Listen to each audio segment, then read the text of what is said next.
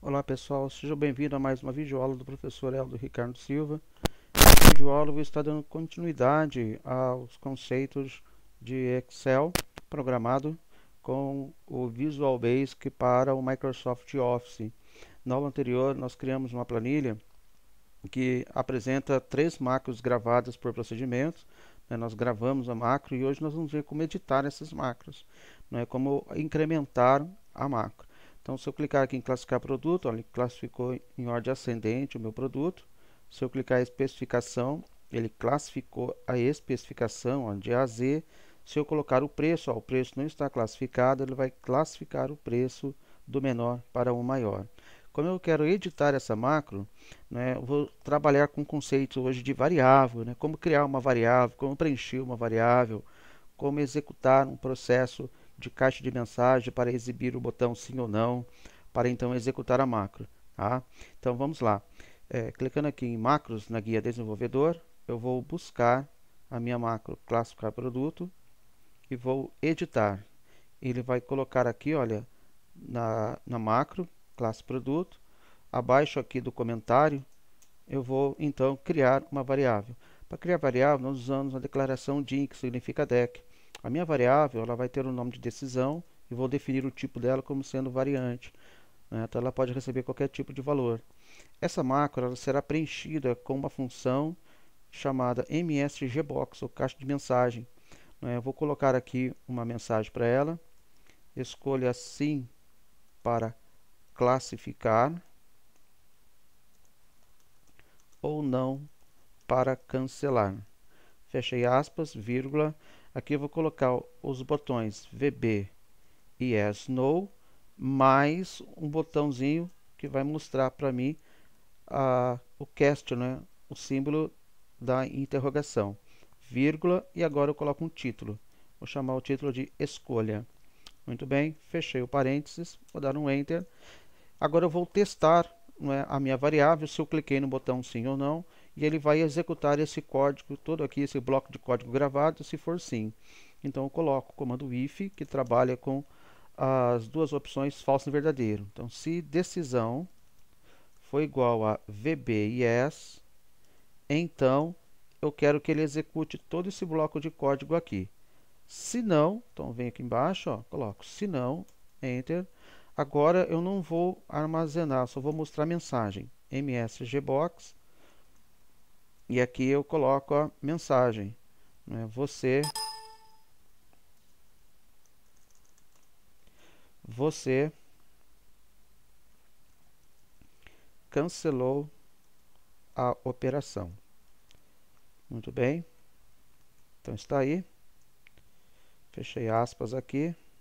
Aí, muito bem, aqui colocar uma vírgula, vou colocar uma, um botãozinho VB information, vírgula, e aqui vou colocar cancelou. Bacana, então ó, já está pronto. Vou voltar aqui olha, para a área do Excel, clicar no botão classificar produto.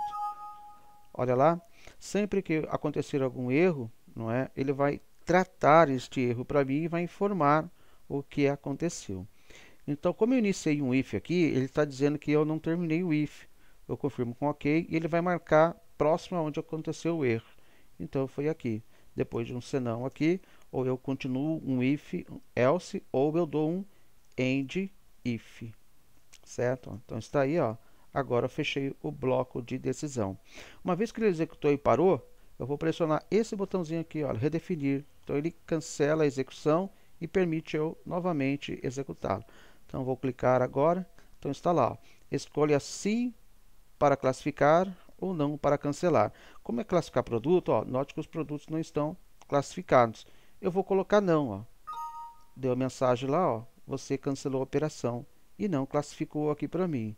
Vou clicar novamente. Muito bem. Agora confirmo com sim. Boa. Agora está lá, ó, classificado. Certo? Bom, pessoal, é isso aí, tá? Então, espero que vocês tenham é, gostado. Né? Vou colocar os vídeos curtos para né, que tu possa é, continuar a desenvolver as aulas e fazer os exercícios. Como eu fiz para classificar produto, tu pode fazer para classificar especificação, classificar preço. Só lembrando, não é? Eu vou até onde mesmo? Em macros, escolho a macro que eu quero, por exemplo, que é especificação, e venho em editar. Tá? Declare a variável que tu vai trabalhar aqui, né? Então eu vou colocar lá, ó, din, e aí eu vou colocar aqui a variável, estou chamando de decisão, e ela recebe um variant. E essa variável vai receber a função msgbox, tá? Então msgbox, vou abrir um parênteses aqui, e aí eu vou colocar escolha sim para classificar ou não para cancelar. Muito bem. Aí eu passo o parâmetro com uma vírgula, VB question, para aparecer o símbolo de interrogação, mais o VB yes, no, né, para que ele apareça o botão sim ou não, vírgula, a mensagem escolha. Posso colocar qualquer título aqui, tá certo? E faço o teste, ó. Se a minha decisão ela armazenou o botão VB yes, se eu cliquei no botão sim, então, ó, DEM faça tudo isso. Né, ó. Se não, else da mensagem, ó, msgbox, cancelamento da operação. Certo? Ó, cancelamento da operação. Ó, vírgula, agora eu não vou colocar o VB Information, vou colocar aqui o VB Critical, e vai dar o x na tela para mim. E aí aqui, ó, cancelou. Pronto. Então está lá e finalizo com o end if, que é para terminar o meu C aqui, certo? Vou deixar aí um desafio para tu fazer, ó. Faça uh, o mesmo para a classificação de preço, tá bom? Vou deixar os arquivos disponíveis também para que tu possa editar, certo? E vamos testar aqui agora, ó. Vamos lá, classificar por especificação. Cliquei, escolha sim ou não. Não, ó, cancelou, olha lá o xizinho e agora eu vou colocar ele para classificar. Sim, executou. Agora classificou a especificação. Certo? Eu sou Helder Silva. Obrigado aí pela atenção.